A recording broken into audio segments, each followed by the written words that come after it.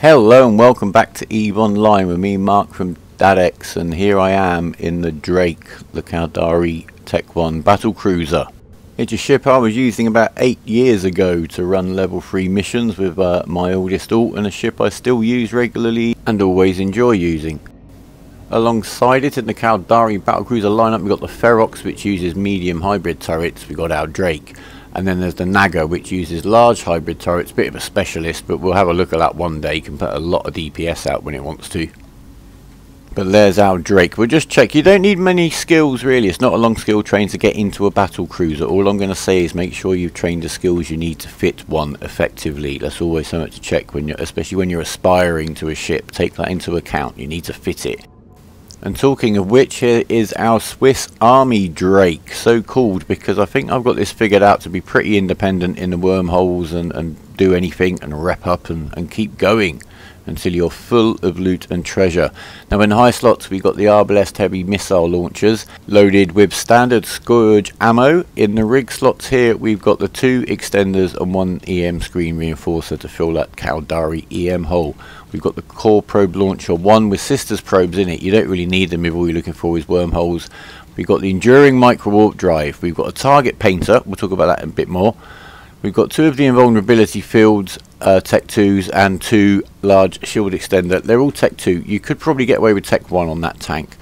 Though to be honest, if you're uh, flying Caldari battle cruisers without Tech 2 shield skills, then uh, you might want to rethink your training queue a little bit. That's my advice to you. We've got the two ballistic control unit 2s and the damage control 2 in the bottom, but it's the shield power relay 2 here that's really key to this fit.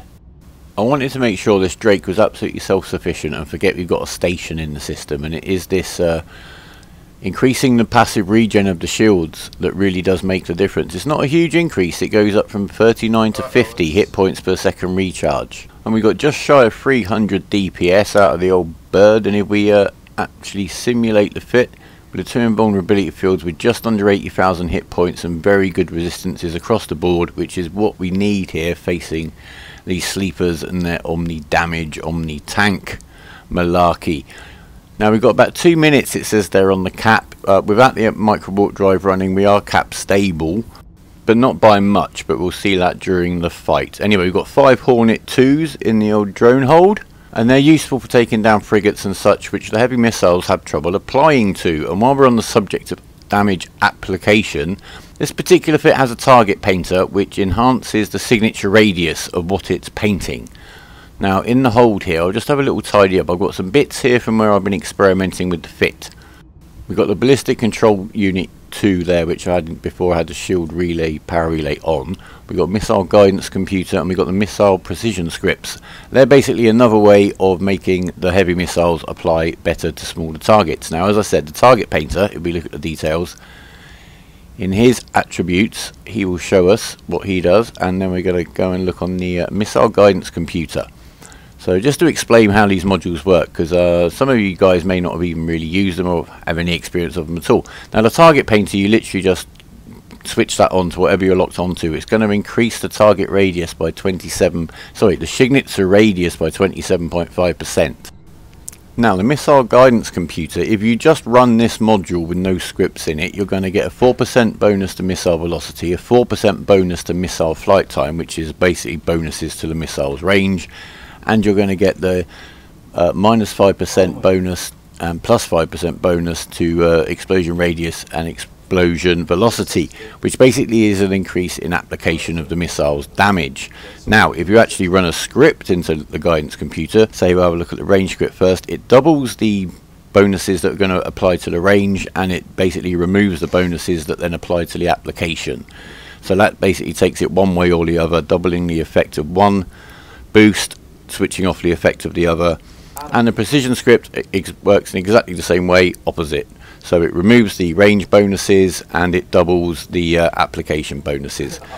Um, most mid-slot modules that run scripts of some form will work on that kind of basis. They'll do two things if you're just running them or specialise in one of those two things when you run the script. Back to the cargo hold, the selection of modules in here combined with the mobile depot means that in between sites we can go off to a safe point, deploy the mobile depot, refit for maybe a bit more scanning, could try to hack a relic site if we wanted to. We got some spare drones, we could also bring salvaging drones, some salvagers, repair the hull, sorry, the armour, I haven't brought a hull repairer, hopefully things won't get that bad.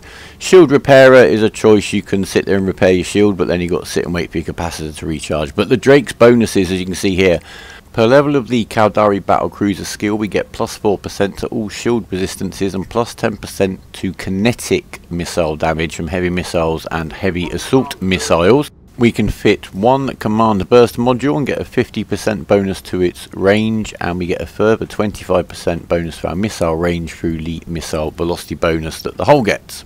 Overall, with uh, our launchers and the standard Scourge ammo we get a 59 kilometer range on our heavy missiles which is very good now let's get out and about there are three types of regular combat site that spawn in a C2 wormhole, the first of which is this one, the Ruins of Enclave Cohort 27, and we're on the EVE Uni wiki page to get all of the information we could possibly want.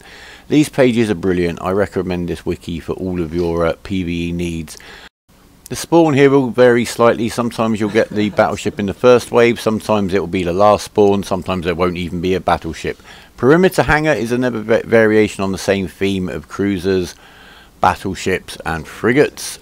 The attack ranges can be a key piece of info you get, so you know how far away to get from a ship so it can't apply damage. But it's the perimeter checkpoint we're actually going to run today.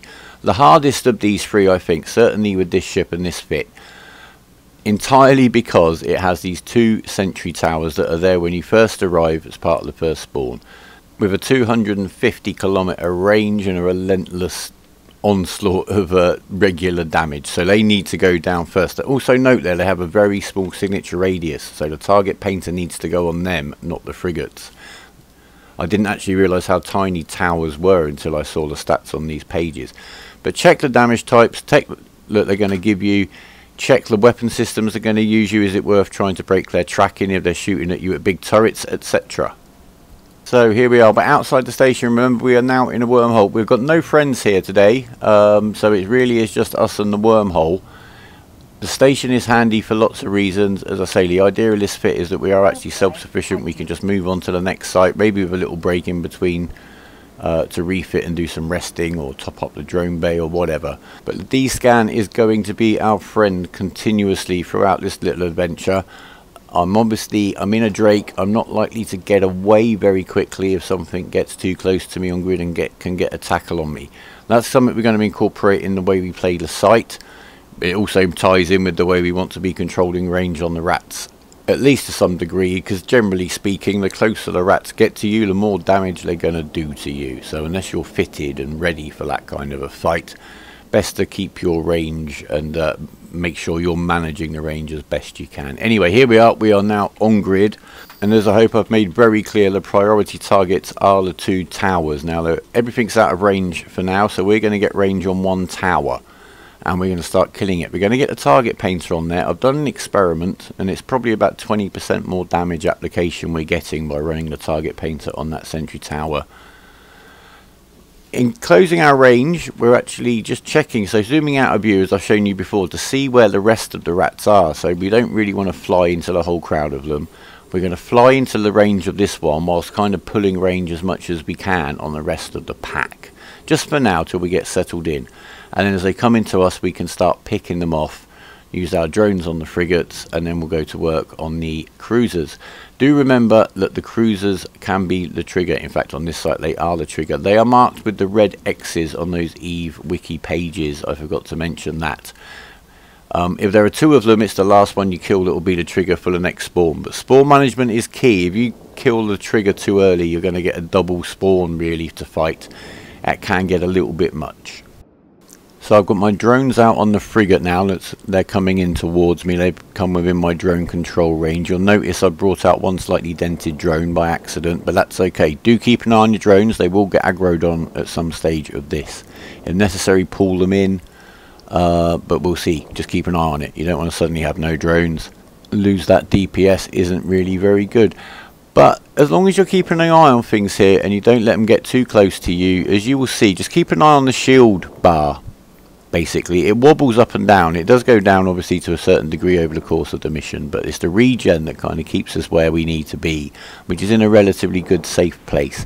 Now, with those twin invulnerability fields running and the target painter running, we are cap stable, as I said, but there's times during the running of the site that we're going to burn using the micro warp drive. Now that is going to, if we do that, tip us over the edge a little bit. So as we go through, you'll see how I mitigate that by uh, reducing the capacitor use as and when we can during the lifetime of the site. I'm just going to speed this up, guys. Please, I'd like a comment. Would you prefer me just to kind of cut lumps of this out? Would you prefer me to speed it up as I do now and kind of narrate over it? There's me putting out my mobile tractor unit. I don't use those as an orbit point on these sites um, because you do need to move around quite a bit as you'll see. Or would you like me just to leave the video in kind of real time and leave me much more time to talk nonsense to you? Um, let me know, no, let me know what your preference is. Obviously I don't want these videos to be too long and just having 10 minutes of it, literally me going round and round stuff, killing it, if that's really all that's going on. Why should we take up our time doing that? We can move on to something much more interesting. But now we've got those two sentry towers down, really, we just manage our way into killing these things by just controlling the range, let them come into us now. What I am going to do here, I've talked about the capacitor, and you can see, although theoretically we're cap stable, it is running a little bit low. So I'm going to turn off one of the invulnerability fields there because the incoming DPS has dropped enough for us to be able to do so and as you can see the shield level is staying pretty much stable. I've turned off the target painter. I'm basically taking my time. Everything's getting a, a little bit more recharge time. Ready for the next spawn. Also, if anyone does land on grid, I'm going to want to make sure they can't get a tackle on me. This isn't really a very fast getaway ship at the best of times, so I'm nicely off, hopefully, the warping point. Although, of course, they could warp on quite close to me. They could be cloaked and uh, approaching me slowly now in their Tengu. But uh, if I can, if I, I, might want to burn away just to make sure they can't get a tackle on before I warp out. Although firing your micro warp drive whilst you're trying to warp out can really slow you down if you have some alignment to do. So don't be reliant on that. There's me just updating which one was the trigger so I made sure I killed them in the right order in this spawn. And it's the protector that's the trigger here but the two escorts aren't coming within drone control range, so I put the drones on the patroller and they can slowly nibble him down while I let the missiles and the target painter get on with dealing with the escorts. And there's one getting hit as we speak. Beautiful. And once these guys are down, we're on to the last spawn, which is going to be some frigates, which the drones will be able to handle, and a battleship, which as long as we don't let it get any stupid damage on us, we're just going to nibble away at over time. As you can see there, if you want to freeze frame that, just to see their resistances and their damage types, they do vary slightly ship to ship on a site, but overall a site is always going to be omni damage and kind of omni tank when you're dealing with the sleepers. Just doing a little bit of admin there, don't want to look too complacent, but I did have time. And no, this alpha count, obviously not Flyer Prospector. Um, someone is delivering it to me so I can pass it on to somebody else in the wormhole later. Anyway, here's the final spawn.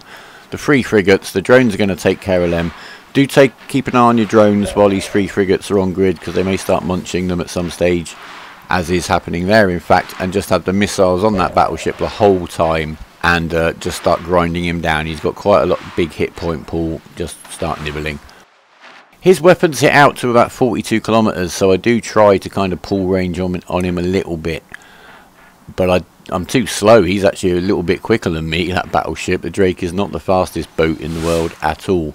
So that doesn't really work, but what I do know is he, he's shooting at me with very big laser turrets and you can actually see them flashing past me. So if I can keep a bit of traversal on him, that's going to make it harder for those to apply to me. So um, that's part of the plan. You don't want to be flying straight away or straight at something that's shooting at you with big guns because, oh, and then you can see there, I'll put the display up, you can see the traversal, you can see the speed that he's moving. And uh, I could burn again with the micro warp drive to full range, but I'm still not that very comfortable on the capacitor. So uh, I am taking it a little bit easy.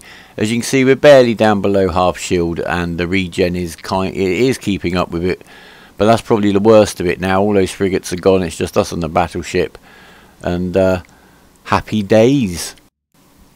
Now, that battleship is also hitting us with missiles, but um, we can't do much about messing with the application other than get out of range. But here is how you get into your combat log if you want to know the nitty gritty. Unfortunately, it doesn't tell you damage type in here. But if you want to just a, a record of your whole fight, of you hitting them and them hitting you, and uh, see how your manoeuvres, etc., made a difference to how damage was applying, then there's all the info right there, should you want it. And our drones are chipping away over there slowly into the battleship, making the big difference, of course. And it's just a matter of time now, so keep an eye on your D-scan. Hopefully you don't get jumped at the end. If you do warp away for whatever reason, I have noticed if it's only the battleships left on the grid, um, they may well not be there when you come back. I've noticed that I did one of my very earliest attempts on, on one of the sites. I was uh, about to probably die, so I walked away, repaired, came back, and uh, the battleship had already gone. Doesn't make a huge difference to the overall loot on the site, but we'll talk about that when that is appropriate. But there he is, he's going down now. All the drones are safe. We didn't have to overheat any modules, which is great. So um, we can just go off onto the next site. We can go to our safe spot, regen everything up. But in our case, we've gone home and put the Drake to bed. We brought the Cormorant out because we can to do the salvaging um, and we'll see what the results of that are shortly. As I said, using the mobile depot, you could go off to your safe spot, fit some salvages or put some salvage drones in the drone hold and uh, use those for salvaging. Or you can decide not to salvage and just move on to the next site. It's really up to you. So uh, these destroyer salvagers I love them with those rigs in the mid slots I've made a video all about it for you. I'll link that in the description. Take these down very quickly. Obviously I'm running the footage at full time speed again but I'm not here for very long. Overall this whole site and the salvaging takes about 20 minutes so bear that in mind. In terms of the income everyone likes to know about ISK per minute ISK per hour. This is taking about 20 minutes so let's see what we've got in here then shall we so we're on the last wreck, just waiting for our salvagers to crack their way into there, and then we'll know exactly how much we've got. Come on, boys. Don't make me set all of them on you. There you go. 3.2 million ISKs worth of salvage from the wrecks. And inside the MTU, 12.9 million. So, just over 16 million loot and salvage in about 20 minutes. Don't forget to pick up the mobile tractor unit. And just in case you do forget to pick it up, make sure you bookmarked it. I'm deleting my bookmark there, just to save admin confusion later on. And off we go, back to our little home base here. Um, obviously, if we were roaming, we'd head off to the next site in our Drake, into the next wormhole, I am going to go and do a bit of a roam one day in my Drake, see how I get on. I'm actually going to do one in the Venture after that mad little Venture video, see if it can hack some more relic sites and get some more gas. I also spent the whole night in a Venture in a, a shattered wormhole, wormhole in the week. And uh, I came out of there with 75 millions worth of gas, which was all very good. But anyway, we're going to dock up, all safe and sound. As I say, I really did want to make sure I had a fit that um, wasn't dependent on having a station in your wormhole at all. So I hope you agree that this is a, a Drake that can do the job for you. Just putting all our lovely loot away. Let's see how much we've collected in the last few days. That's a nice, healthy amount of looting. Just over a hundred mil, and that's what I made by doing a few of those sites, um, sussing them out to get this video made for you. So uh, that's some more breakages paid for when I'm bouncing around in low sec. Hey. Anyway, right guys, I'm going to leave you there. Please leave a comment, especially about how you like the combat and the site clearing shown, um, your preferences, or any questions or suggestions you might have. Please subscribe if you want to stay in touch. Click the notification bell if you want to know when a new video comes out. Leave us a like, of course, if you have indeed liked it. For now, fly brave, fly safe. Remember, even is believing, and goodbye.